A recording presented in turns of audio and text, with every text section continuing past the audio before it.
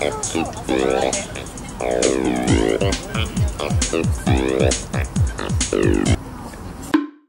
犬集合ゲリラ。市街地観光地など現日本の風景の中で柴犬ってこんなに賢いねんで。これが日本の犬やで。日本はもとより全世界に発信するつめつめの美しく整列した犬集合を撮影する柴犬集団です。1分以内で整列2分以内で本撮影。後の時間はギャラリーさん向けの SNS タイム。ツイートシェア拡散大歓迎。吠えないおやつで釣らない基本3分間実習で活動しております。犬が嫌いな方やいろいろなご意見もあるとは思いますが人にも動物にも優しい日本人として温かい目でご支援願います。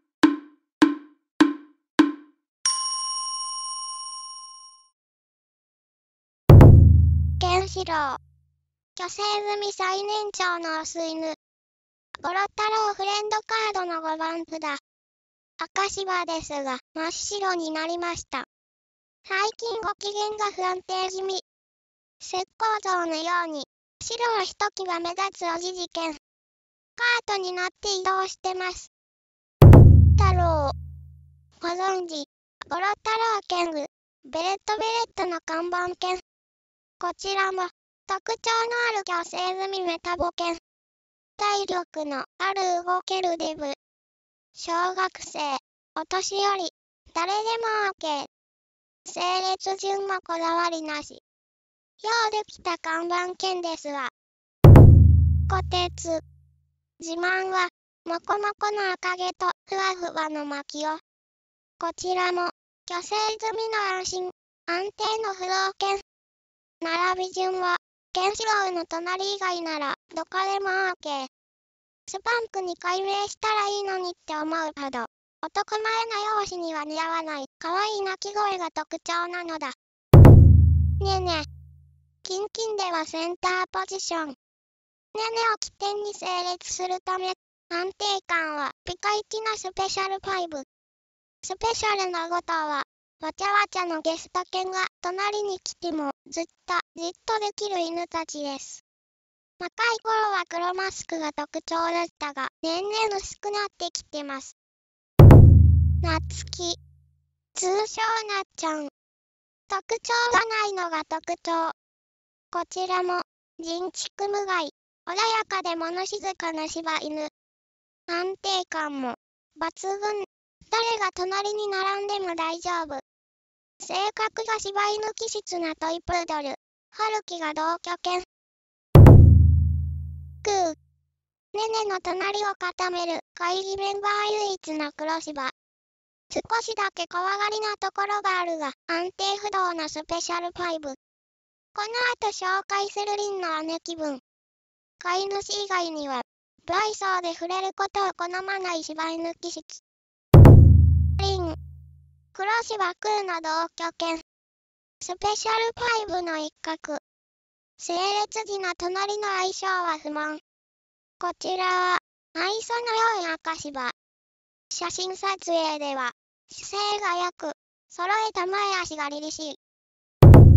夏目。青い引退後のリーダーいつきと共に根を挟んでくーちゃんりんちゃんの反対側を固めるスペシャルな5頭の一角。危険度ゼロの安全圏。わかりやすい特徴がないため他のメンバーと間違えてしまうかもですが主要レギュラーメンバーの一頭なのです。いつき青い軍団員。ゲリラメンバーの最若手。夏目の隣に並ぶスペシャルな5頭の一員。落ち着きがないのにじっとできて名前を呼べば必ず目線をくれる賢い子。マッチョな容姿に似合わない可愛い性格で人も犬も何でも OK の有料犬。青い。青い軍団のボス犬。ゲリラ活動は引退しました。かなりグマに近い毛色でくしつけられた先住犬夏目いつきの手本となる柴犬で晩年はカート移動と横たわる画像で無理のない参加をしてましたメイ。新メンバーとして2018年より新加入。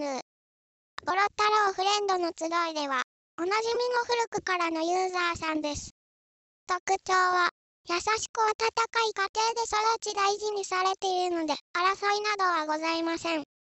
メスのシニア犬ですが、若い時から落ち着きがあり、おしゃれなカフェの常連。寝たらあかん。悟り、瞑想な柴犬。会。新メンバーとして2018年より昇格加入。オス犬最若手、いつきとため出しです。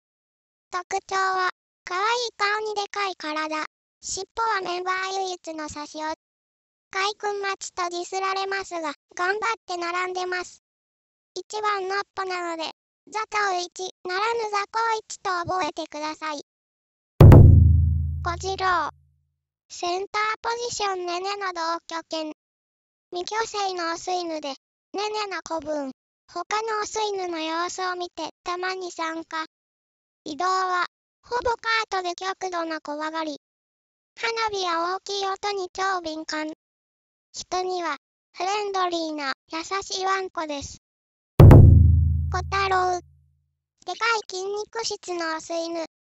綺麗な赤毛と男前な容姿が自慢で、いいも悪いもよく目立つ。